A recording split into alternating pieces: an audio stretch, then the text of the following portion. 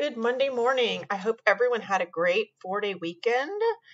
Check out today's wonder, which comes from Adriana, and be ready to share at 8:30.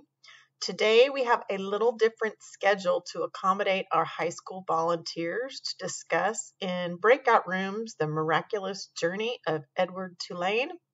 Make sure you come ready to participate and make sure you also thank them for joining us. We will have a brief math lesson from 9:45 to 10:15, break for 5 minutes and come back to meet from 10:20 to 11:20, so it's for 1 hour.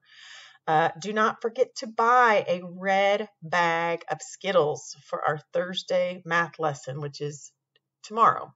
So Make sure you make yourself a note. I need a red bag of Skittles for our math lesson, which is going to be for Thursday and Friday, but you just need one bag, okay? We're going to use it for two days.